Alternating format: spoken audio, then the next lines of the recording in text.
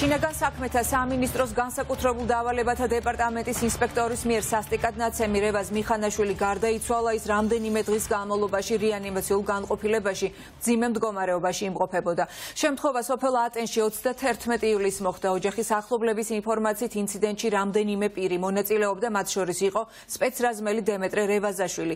მოგვიანებით საქმეში კიდევ ერთი ბრალდებული გამოიკვეთა მათ ჯანმრთელობის ჯგუფურად განზრახ მძიმე სიცოცხლისათვის სახიფათო დაზიანება ნების მუხლით წარედგინათ ბრალი.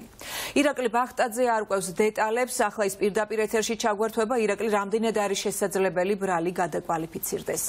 თავდაპირველად მომხდარ ფაქტზე საქართველოს პროკურატურამ გამოძიება სისხლის სამართლის კოდექსის 117 მოხლით დაიწყო, რაც ხეულის განზრახ მძიმე დაზიანებას გულისხმობს, თუმცა სავარაუდოდ ბრალდების მხარე უახლოეს საათებში გადააკვალიფიცირებს მუხს, რადგან განსაკუთრებულ დავალებათა დეპარტამენტის ინსპექტორის დიმიტრი რევაზაშვილის მიერ ჩადენილი ქმედების შემდგომ 51 წლის მამაკაცი რევაზ მიხანაშვილი გუშინ კლინიკაში გარდაიცვალა, ის 31 ივლისს შეიყვანეს გორის ჰოსპიტალში მრავლობითი დაზიანებებით. პირველივე წუთი წუთიდან მისი ჯანმრთელობის მდგომარეობა იყო კრიტიკულად მძიმე და როგორც ჩანს მედიკოსებმა გუშინ უკვე მისი ჯანმრთელობის მდგომარეობის გაუარესების შემდგომ მისი გადარჩენა სამწუხაროდ ვერ მოახერხეს.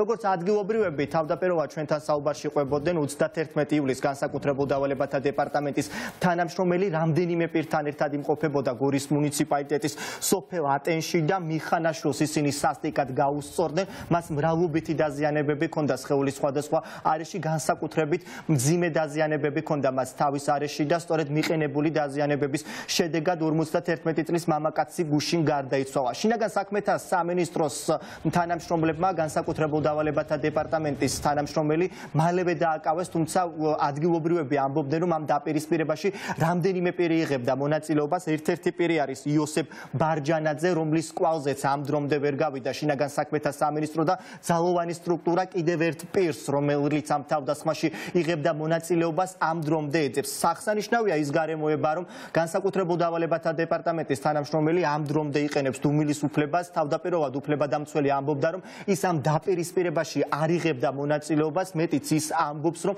მისი დაცვის ქვეშ მყოფი ცდილობდა რევაზ მიხანაშვილის გადარჩენას და სწორედ ამ კონფლიქტში ამიტომაც ჩაერია განსაკუთრებულ დავალებათა დეპარტამენტის თანამშრომელი. სავარაუდოდ პროკურატურა უახლოეს საათებში გაავრცელებს განცხადებას მუხლის გადაკვა კვალიფიცირებასთან დაკავშირებით და შესაბამისად ინსპექტორს, რომელსაც ხეულის განზრახმძიმე დაზიანებას ედავება ამ დრომდე ძალოვანი სტრუქტურა, მას მუხს დაუმძიმებენ.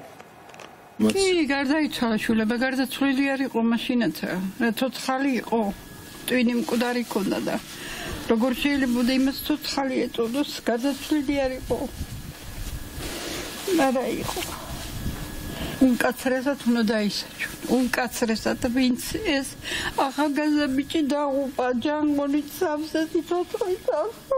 უკაცრესად მაგათთვის აღელია რვასამუდო უნდა იყოს სამუდა ბრის გულისი. ბრის გულისი ჟილორის გულისი. რატო რატო ვისაც უშავებ და აქ იყო და მაგის ჩხუბი არავის არ გაუგია თუ რომელს კითხეთ თუ ვისთან მე უჩხუბი? თბილისში გადაასვენოს მეტი არაფერი ვიცი რა ვიკითხე და ეგეც. ის მეორე ვერ დააკავეს თქვენი საფლელი იოსებ ბარჯაძე. არაფერი ვიცი მაგის შესახებ არაფერი ვიცი რევაზ მიხანაშვილის 51 წლის მამაკაცის ცხედარ სავარაუდოდ უახლოეს საათებში გადაასვენებენ საცხოვრებელ სახლში. მისი ცხედარი ახლა ექსპერტიზის ეროვნულ ბიუროშია გადასვენებული, როგორც გითხარით განსაკუთრებულ დავალებათა დეპარტამენტის თანამშრომლის მიერ სასტიკად ნაცემი 51 წლის მამაკაცი გუშინ გვიან ღამით კლინიკაში გარდაიცვალა.